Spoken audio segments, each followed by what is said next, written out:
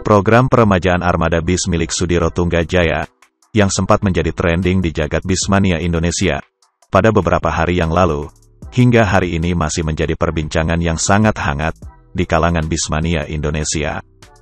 25 sasis bis Mercedes-Benz 1526, milik perusahaan otobis Sudiro Tunggajaya, kini sudah berada di karoseri Laksana, untuk dibalut bodi bis terbaru. Hasil karya karoseri yang berpusat di Ungaran, Provinsi Jawa Tengah ini. Berita yang sebelumnya hanya rumor yang santer beredar, akhirnya memang secara resmi telah diumumkan, bahwa 25 bis terbaru milik Sudiro Tunggajaya nantinya akan berbalut bodi bis Legacy SR3, yang baru akan resmi di-launching 3 minggu yang akan datang, pada ajang perhelatan Gias 2022, di Serpong, Tangerang Selatan. Dua hal yang akan sangat menguntungkan kedua pihak, di mana momen yang bertepatan dengan acara rilisnya body bis terbaru dari karoseri Laksana ini, dan body bis terbaru tersebut, langsung disematkan kepada bis-bis milik Sudiro Tunggajaya.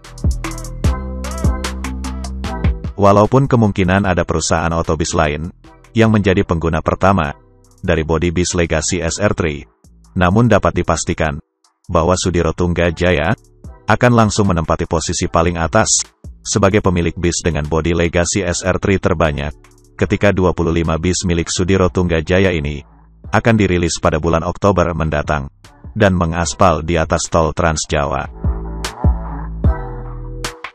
Mengenai sedikit bocoran desain dari Legacy SR3, desain manajer dari karoseri Laksana, Bapak Kusririn atau yang biasa disebut Mas Ririn memberikan gambaran, jika bentuk dari body bis Legacy SR3 ini nantinya akan tampil jauh lebih menarik jika dibandingkan dengan tipe body SR2 yang saat ini sudah sangat banyak beredar.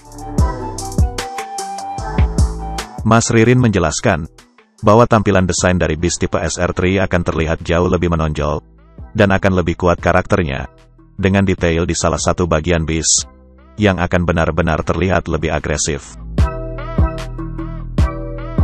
Hingga hari ini, banyak kalangan bismania yang sangat penasaran dan menebak-nebak bagaimanakah perkiraan bentuk dari desain body bis Legacy SR3 yang akan dirilis oleh karoseri Laksana ini nantinya. Pihak Sudiro Tunggajaya sendiri memang sudah mengeluarkan investasi yang cukup besar pada program peremajaan armada bisnya kali ini. Kehadiran 25 bis terbaru Sudiro Tunggajaya, dengan balutan bodi bis SR3 nantinya, sudah jelas akan semakin meramaikan hasanah dunia perbisan di Indonesia, maju terus moda transportasi bis tanah air.